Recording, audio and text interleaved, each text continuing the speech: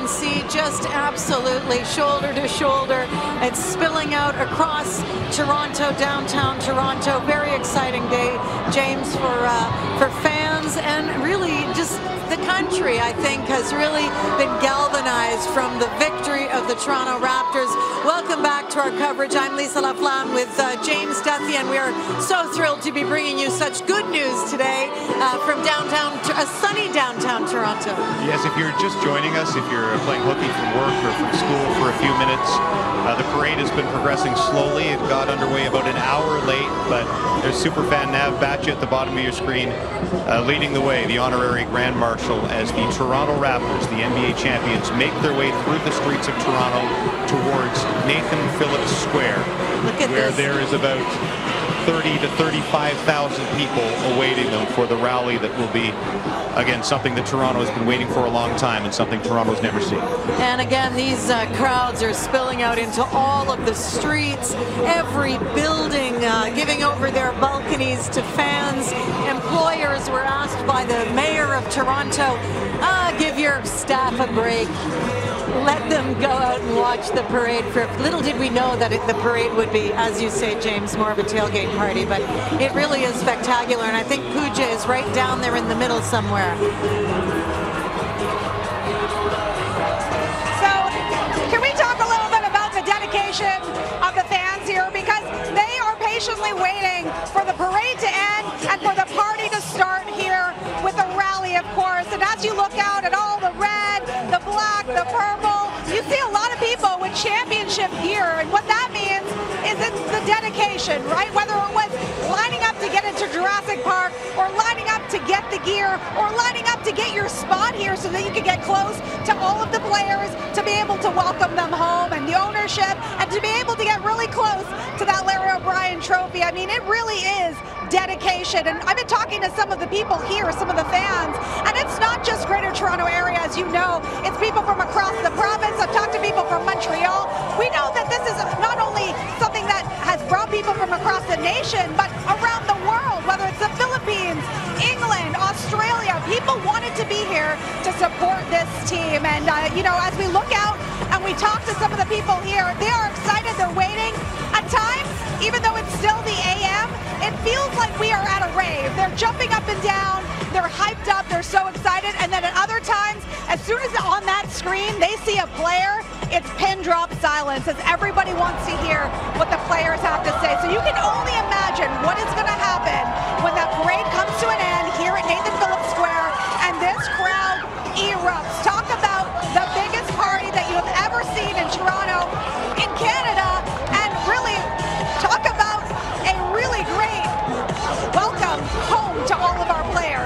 to you. All right, thank you. It, it's so true. As as this as they started to win series after series, Oh, these are wow, construction workers on scaffolds watching is- the parade. That is an opportunity right there. You know, don't you think don't much have is time to get work, but you've got a building great view. But there was, you know, as people started to imagine, Lisa, what it would be like. Can you imagine if they actually win the championship? What this would be like? And now we're finally seeing it, and it's somewhat surreal. With, I think it's fair to say now, in the millions of people down here, it, look, it's so hard to estimate crowds. I can tell you that officially, the Chicago Cubs World Series victory in 2016 is officially listed as the largest professional sports celebration crowd in North America with 5 million people. Obviously, the Yankees, the Red Sox have had big ones. And I don't know who will put a number on this one, but you have to think that it's in the ballpark anyway.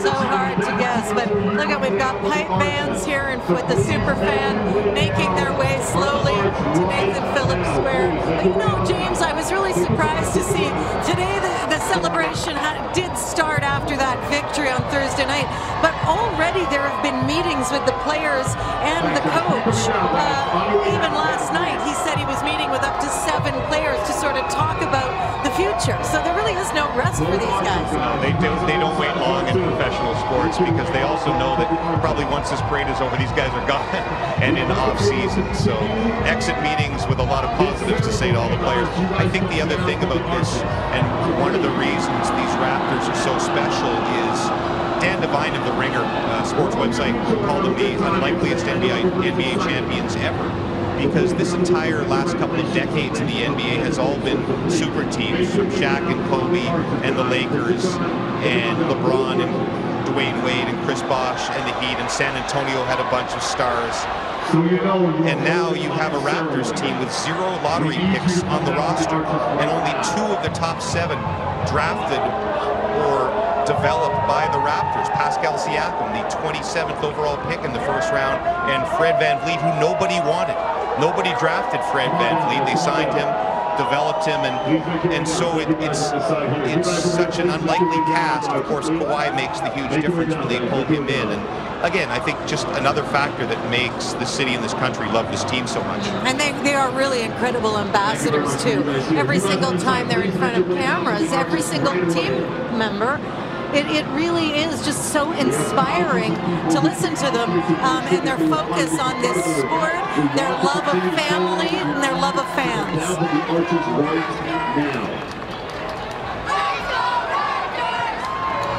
Let's go, guys.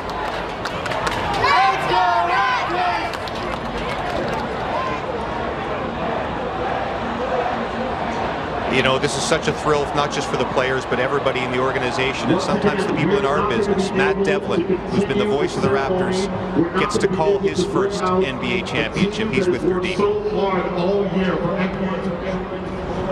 Thanks very much, James. Yes, here with Matty D. Oh boy, I saw you in California in the locker room with the champagne flying everywhere and the ponchos given out.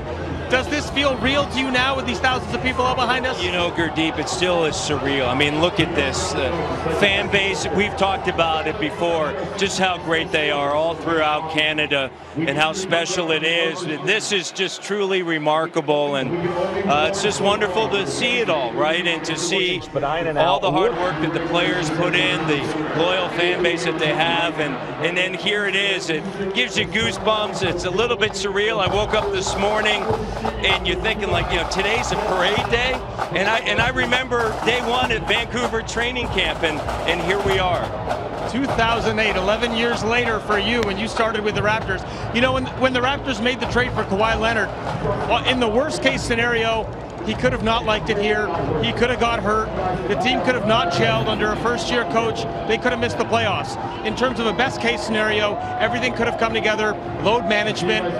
They catch Golden State in the final, perhaps not at 100%, and they win an NBA title. It's not often we get to talk about a best-case scenario playing out. Well, when you think back to the moves that Masai Ujiri made last year, uh, he knew, he has said since day one, we will win, we will win. And he made a big deal to bring in Kawhi Leonard because he understood that he's the best two-way player in the world. I think he's shown or showed during the course of the 2019 postseason he's the best player in the world at this stage. And then Nick Nurse, what he was able to do, the addition of Marc Gasol, the uh, Pascal Siakam, how he grew as a player. Uh, and you think of Kyle Lowry and the journey that he's been on. And then for it to all to come together. And the Raptors playing different styles, Gurdeep, throughout the course of this postseason.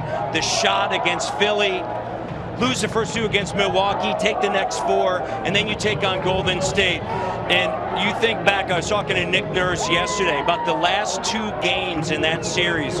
Two teams that were leaving it all out there for 48 minutes both teams with tremendous heart, and the Raptors have come out on top.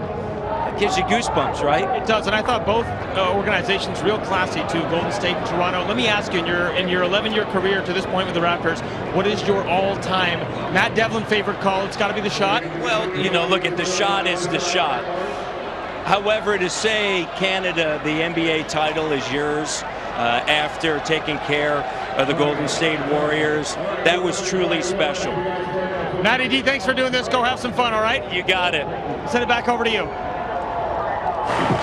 what a moment for him also, and a moment for all of these team mayors. Right, right here in, in Nathan Phillips Square, you know, the crowd has been incredibly patient. Some, though, decided to use the arches uh, for a better vantage point, and in a great ultimatum moment, they came up on stage, got on that speaker, and said, until all of you idiots get off of those arches, you are not going to see the Raptors, and this show is not going to get going. So what you're seeing right now are all of those people who climbed those arches now climbing down, hopefully safely. Uh, that is the one thing. The folks of Toronto were so great in the aftermath of the victory. There was only minor damage, barely any arrests, and you don't want to see anybody hurt on a day that is pure celebration. So we continue here from Toronto, the Raptors celebration. Canada. James Duthie and Lisa LaFlamme watching the Raptors Championship Parade here in Toronto. They're making their way along Lakeshore Boulevard in Toronto, Lakeshore, and then they'll make their way up York and then University Avenue to Nathan Phillips Square, where a massive crowd awaits them. If you're just tuning in and expecting them to be here by noon, which was the original plan, that won't happen. it was a slow start, and the crowds have just been so massive down here uh, that the parade is, is taking its time and in getting here. Teddy Tong and Takia Singh spent the night in Nathan Phillips Square. They're from bardown.com and have been Hi everyone, I'm Takia. What it do, baby? And I'm Teddy. And we're here live at Nathan Phillips Square where it is absolute pandemonium. Man, are the fans here wild. There's a lot of dancing, a lot of excitement, and we cannot wait for their buses to arrive. Yes, every inch of the square is filled with passion, with love, with excitement to see the NBA champions, the Toronto Raptors. It's just fabulous, and we're seeing pipe bands on the streets. We've got fabulous music here in the square. No perspective whatsoever on where the parade is. We just know that in 45 minutes from now, it's supposed to be here behind us, James. I don't know. I wouldn't That's definitely. Lakeshore. We know it's on Lakeshore, but it, it's going to be sign. some time. And by the way, if you have if you have friends or family down here and you're having trouble reaching them, you imagine when a couple million cell phones are trying to operate all within about a, a mile radius of one another, and they're just not functioning down here. But crowd has been extremely well behaved. It's an almost perfect day in Toronto. One of the best days we've had in what has been a ugly spring. About 20, 22 degrees, a beautiful breeze, and that really helps, particularly down here in Nathan Phillips Square, where they are shoulder to shoulder. There is not an inch to move, so at least you're not basking in the heat. And it's always such a great concern when you have massive crowds like this in the sunshine with heat stroke and this sort of thing. We can hear that uh, pipe bam now, and I think Cam Woolley is very close. Cam. We're at the front of the parade. We're just approaching Spadina now. Look at the crowds. They're even up on the ramps uh, from the Gardiner Expressway. We've seen uh, construction workers on high rises, partially built, lining every floor. Um, seen their orange vests, uh, floors and floors up. Seen the uh, workers closing the highway, standing up on the Gardiner looking down uh, at the parade. People are just having a great time. We're picking up speed a little bit now. When we first left, it was really slow as we came out of the exhibition. The crowds had basically enveloped and surrounded uh, Lake Shore. The police had to walk along and sort of inch along and get the crowds out of the way. But uh, it's a, it's pretty well organized here now. We picking up uh, we picked up speed a bit, and things are going smooth. Uh, families here, everybody's having a super time in the sunshine. This is just best parade ever. Back to you. Best parade ever, Cam, also biggest parade ever in this country. Uh, we don't have any statistics yet, but you can see by these incredible visuals just an absolute sea of people here to celebrate their team. The Raptors championship parade continues here on CTV and TSN. Stay with us.